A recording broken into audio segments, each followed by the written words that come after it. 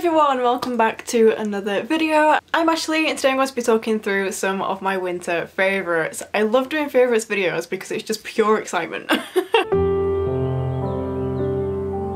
So all of these things are just things I've been enjoying since my last video. Some of them I did actually get quite a while ago and it's just been consistent usage that's convinced me that I do absolutely adore these things because if I've tried anything else in the meantime, I've always come back to these things. Now usually I do split these videos into favourite books recently, favourite bookish things and other random stuff but for this video I am going to skip over these specific favourite books because we are approaching the end of the year, we're going to have a December wrap up, we're going to have all of the yearly wrap-ups, best books, worst books, all that kind of thing. So it would just be a little bit repetitive if I did that now. So we're going to skip over that, but do stay tuned for upcoming videos. So instead, I'm just going to jump right on in with some booktubers. I have three booktubers to talk about today. But just in general, I feel like I've fallen back in love with booktube over the course of December because for quite a while I found it really difficult to actually keep up with booktube because I used to make a huge watch later list and then spend hours just watching it. And that was just a thing I did on a routine basis. Like it was such a habit for me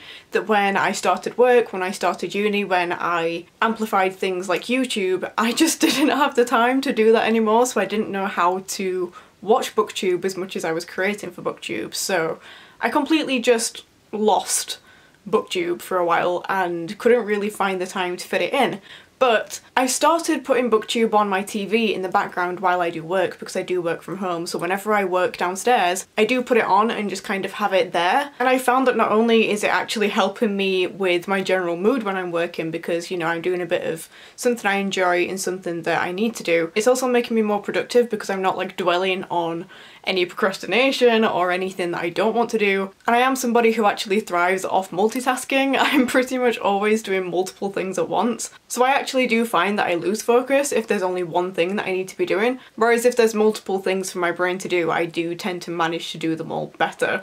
Does that make any sense? I don't know, but I just have a very active brain, okay? But I've fallen back in love with booktube even more so because people have been doing vlogmas which means that there's just new videos every single day and I've been having a great time. I'm loving seeing all of the festivities and you know people putting up all their fairy lights and the decorations and getting excited and it's just a really lovely atmosphere on booktube at the minute I feel so yeah, I've just been really enjoying it. But for specific booktubers, one person who I've been really enjoying recently is Lauren Wade. I've been watching her for a little while now and I just find her entire being so comforting. I don't know what it is, but just everything about what she says, how she speaks, how she presents herself, and just her personality is so comforting and just lovely to watch. And she seems like such a lovely person and I just could listen to her talk for hours and I have listened to her talk for hours and it's been great. She's been doing Vlogmas, uploading one every two days, and even though these videos aren't necessarily things that I would usually watch, so for instance at the beginning of the month she was baking and like making all of this Christmas food, I normally don't like watching content related to food, but for some reason Lauren gets a free pass in my mind and I will watch her talk about anything, so it's just how it is. As well as that, she does usually talk about books which I haven't necessarily heard too much about before, especially in the online book community, so it's just interesting to have that variety there as well. And yeah, I've just been adoring everything she's been doing throughout this month and she's just a really lovely person and I wanted to shout about her a bit. On a similar note, I've also fallen back in love with Amy's channel from Little Devon Nook. I used to watch Amy's channel in my early years of booktube and I think even before I started my own booktube channel, I can't remember. But she did stop for a while and she's recently come back this year and I was so happy. Amy again is just oh, she just seems so nice and I love hearing her thoughts on books. It's not one of the cases where our opinions always line up or anything and we do read quite different books. We do have some overlapping things but I just can't help but want to know her thoughts on a book and I get so excited whenever I see she's uploaded a new video. She uploaded a vlog towards the beginning of the month where she was kind of preparing for Christmas and doing all this cozy stuff which I just loved watching. I really do feel like Amy is just a hug of a human. Like she's just Oh. I don't know how to explain people, can you tell?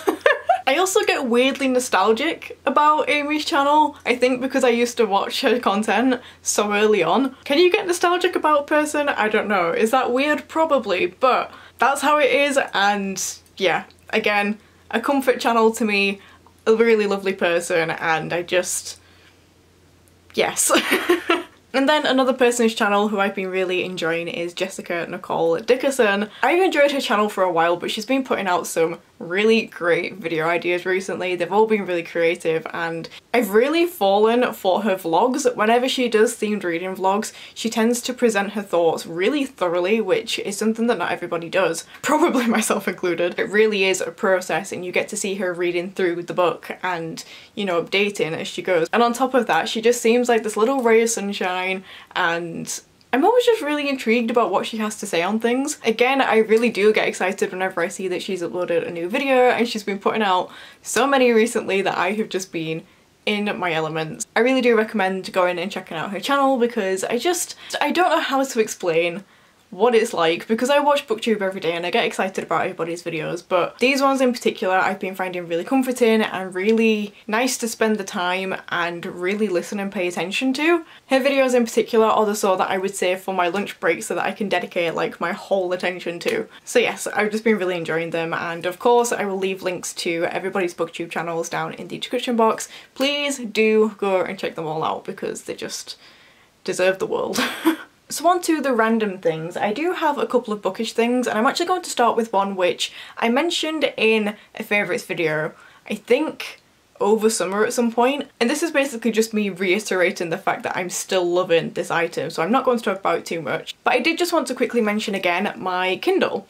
So, I don't know if anybody remembers from over summer, but I bought this pretty much on a whim which I don't usually do, but this is a Kindle Fire 7, which means that it is a Kindle, but it's also a port tablet. Now, I haven't installed anything like social media on this, I only use it for bookish things. But I did just want to reiterate the fact that I'm still loving using this because for years and years and years, I was just so against getting a Kindle because I was like, I love paperbacks too much, I love physical books. And I do, that still stands, of course it does. But that doesn't mean I can't also love this, and that's very much proven itself throughout the course of like half of this year because there hasn't been a single week where I haven't used this. Not only do I use this for ebooks, but I do also use it for Scribd. So I do use this to listen to audiobooks as well. And honestly, I do feel like this has been a bit of a reading saviour because I am fully convinced if I didn't have this, I would not have read as much as I have done this year. And I do put it fully down to this, so I did just want to reiterate the fact that I'm really enjoying this, especially because recently, oh my goodness,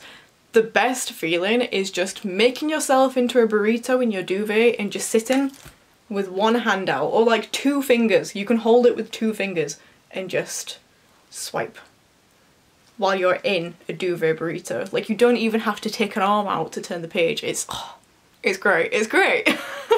As for my other bookish thing, I do just have to like haul it over. This is a pretty random one, but honestly, it's been so helpful because this is my book organiser. It's literally a cloth organiser which I got from Miss Bohemia which I mentioned in my gift guide and I finally got my own. She did actually very kindly gift this one to me when I bought some other items from her store. But I have put this, it's really difficult to hold with all the books inside, but this is just the best way to display it. But I've been putting this in the top level of my book cart because I found that whenever I was putting books in there, if I didn't have enough to fill the entire thing, they would all just slide and then because of the like crisscross pattern of the bottom of the book cart, sometimes the dust jackets would get caught and tear and stuff, so it wasn't that much of an inconvenience, but it's just not an existent problem now that I have this because I've been putting my TBR books in the top layer of it and it's just really satisfying to see. This is probably just me liking organisation and organising even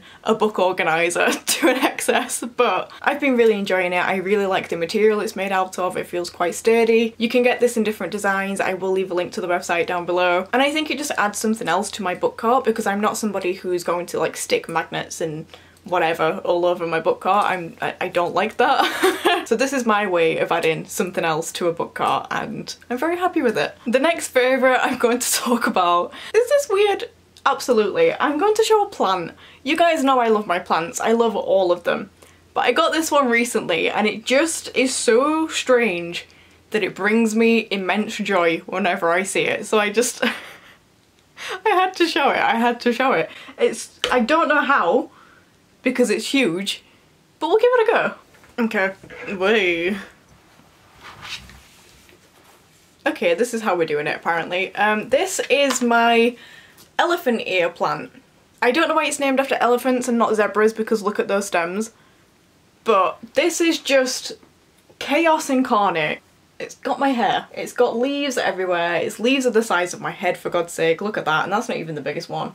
The leaves are a weird shape. Everything about it is just strange and I love it so much. I like to call it my alien planet. It's called an elephant ear plant. I believe the type is taro because there's quite a few different variations of this but yes I came across this and was like I'm having it. It's wild and I love it. So its name is Zuki because for some reason that day I was thinking about Kensuke's Kingdom by Michael Morpurgo and just looked at it and thought yes. I didn't even like that book when I was younger so I have no idea why but I just, that was its name when I looked at it, so. This is Zuki, it's been bringing me much joy every single time I see it, so I just wanted to show it off, I guess.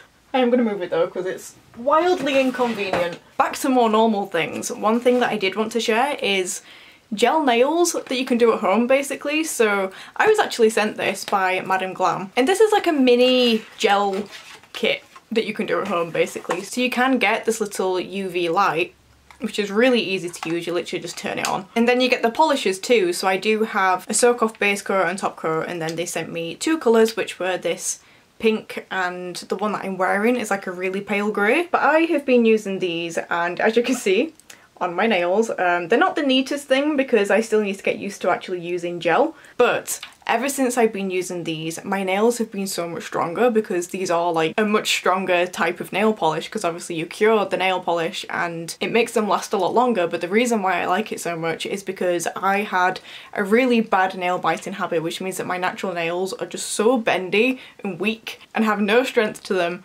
whatsoever and no matter what I do I can't get them to be any stronger. I know they would do eventually but they just break constantly really low down to a point where it's painful so I've been trying to strengthen them and then I get really paranoid and self-conscious about my nails whenever they're short because it's just something that I really dislike having. Really short and stubby nails especially because I tend to do close-ups in my videos and b-rolls and stuff so I feel like it's really evident and it's just that thing I zone in on. So ever since I've been doing gel nails and these have been lasting like one and a half to two weeks keeping my nails strong I have been adoring them and I'm definitely going to get some more colours of these because I think these could be a good shout from now on. Continuing on with beauty, this is something that I've been using for many months now but I haven't gone back basically since using it and that is the Anastasia Soft Glam Eyeshadow Palette. I'm wearing it today and it's just really beautiful. The way that this blends is incredible. So these are the colours inside. I wear this every single day, or at least every day that I have makeup on, and have not regretted it. As you can see, these are very much my type of colours. We have a lot of neutral tones, a lot of gold, and these are just so so pigmented, they blend really easily and it's just perfect.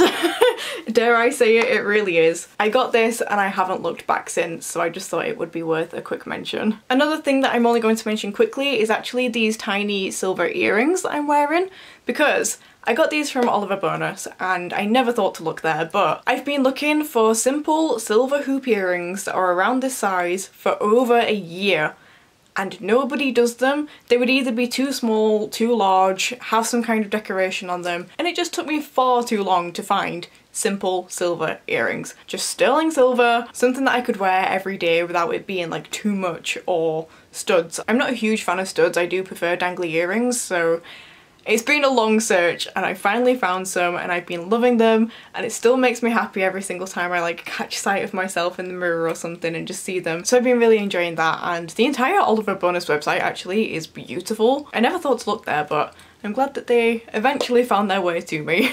And then finally, I do have a couple of hot drink related things. You guys know I love my hot drinks. One specifically has been this one, which I found through Becca. So she had this at her house I tried it and I completely fell in love. So much so that I've already gone through one of these and this one only has a tiny bit in the bottom. I do have another one prepared.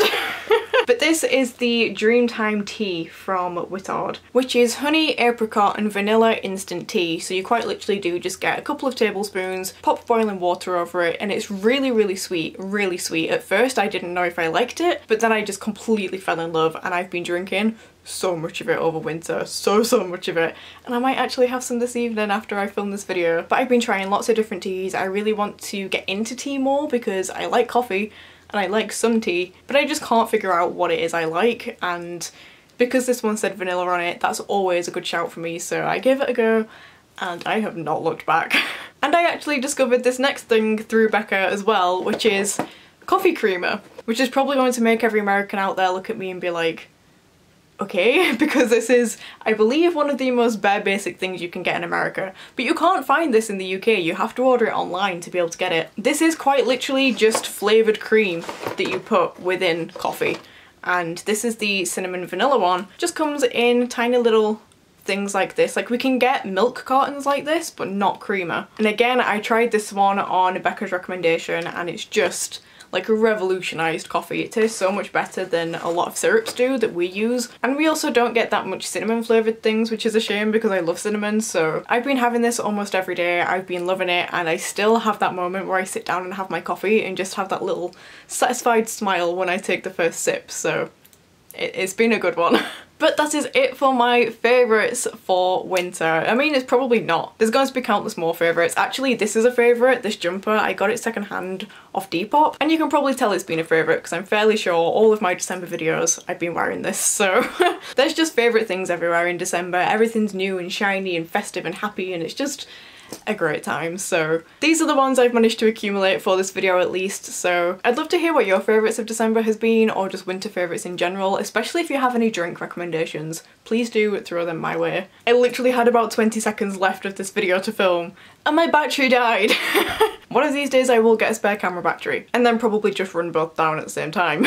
anyway, I hope you enjoyed this video. If you did, then remember to leave a like or a comment to let me know that you're here. If you're not subscribed already, then please consider doing so. Down in the description box you'll find information to everything I've mentioned in this video, all of my social media and the bookish stuff as well. So be sure to check that out if you haven't already. But for now, I hope you're having a lovely day and I shall see you next time with a new video.